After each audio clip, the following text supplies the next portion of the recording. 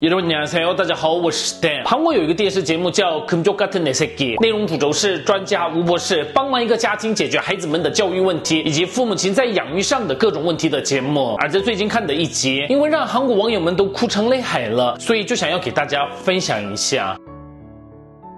四兄妹的爸爸是您自己抚养四个孩子吗？是自己。大儿子是十五岁，三姐妹分别上五年级、四年级、二年级。凌晨十二点三十分，所有人都在睡梦中的夜晚，伸展运动、伏地挺身。没有妻子，一个人抚养孩子的话，一定要健康。如果我生病了，就没有人照顾他们了。早上七点四十五分，准备上学时间。快速叫醒老三、老四，给孩子们梳头发。大家聚在一起吃饭。妹妹要吞下去，吞下去。不觉食物的老妖，恶心，看起来很难吞下。最后用水送服下去了。吃完了。你这次长蛀牙的话要挨骂的，因为要承担起妈妈的那份责任，所以成为了严格的爸爸。全家一起去的地方是在令堂的妈妈。六年前，妈妈离开了四兄妹。妈妈，我想你。即使过了六年，从未忘记过妈妈的脸。妻子自信地安慰老公，说自己一定会回来。但是妻子一个礼拜后就离开了。我还没准备好送你走呢。太突然的离别。虽然过了六年，但从来都没有忘记过你。来看望家人的外婆跟阿姨，一看到彼此就流下的眼泪，像四兄妹一家人一样痛苦的岳母、女婿，辛苦你了，无法分担悲伤。一个人会有多累啊？不会的吗？我也不知道有没有养好他们，但我还是会好好养的。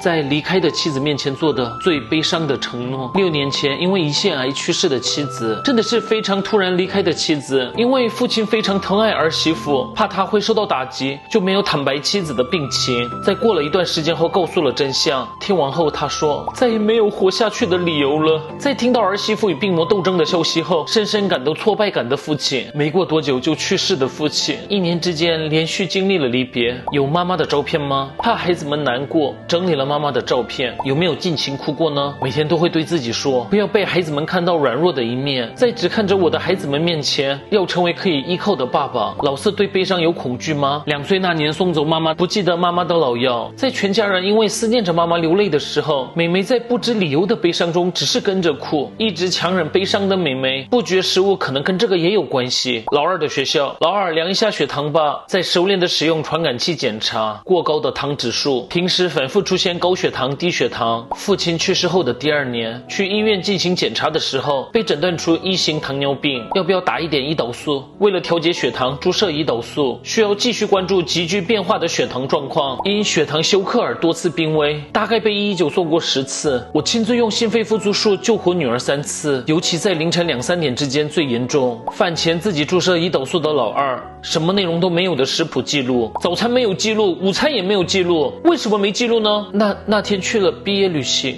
为了血糖管理必须要记录下来，因为对老二来说，饮食管理涉及到生命，所以严厉指责的爸爸，你以为爸爸不会确认吗？这是你的生命，一句话都不说，只是流泪的老二，在回到房间后才低一声哭泣，即使热泪盈眶，也要冷静的爸爸，深夜入眠的女儿，睡觉之前检查血糖的爸爸，确认数值后在女儿身边睡觉。两小时后，走进正在睡梦中的女儿，再次确认血糖，血糖调节困难的一型糖尿病，凌晨也要随时检查血糖。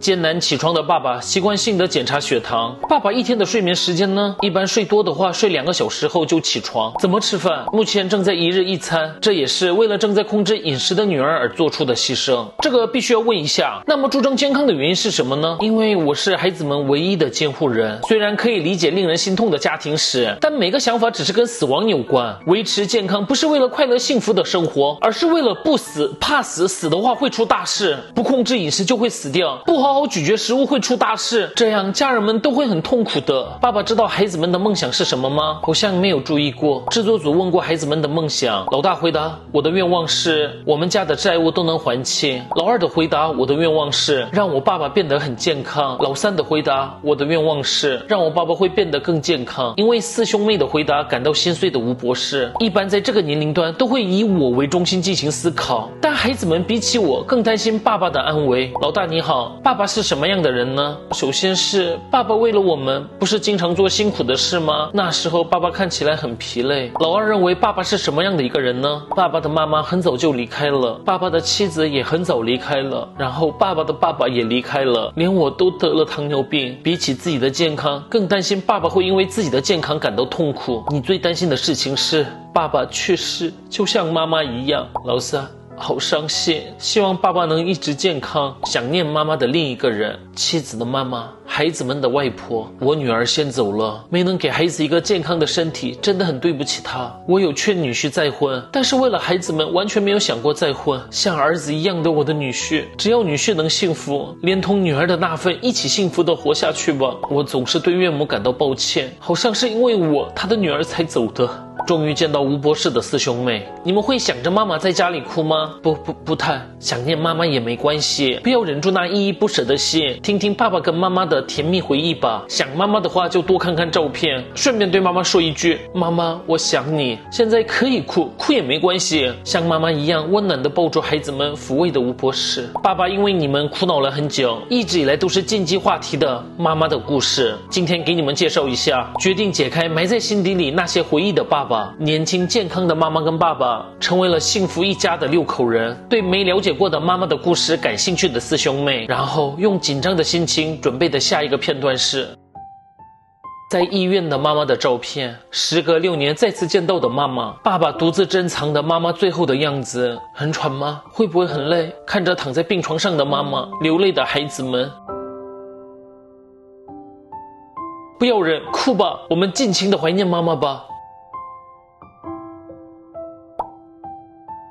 开始寻找健康的幸福了，高兴的时候就笑，悲伤的时候就哭泣，再也不会把妈妈藏起来。亲爱的，我来了。老大这次参加了拳击比赛，还有老二还没有控制好血糖，每天通过仔细的血糖检测跟食谱努力控制中。还有老三、老四偶尔会哭会低沉，但是也渐渐变得开朗了，每天都跟我一起集中训练咀嚼。没有你也变得开朗了，你不会伤心吧？在天上好好看着我们，现在才真正在一起的我们。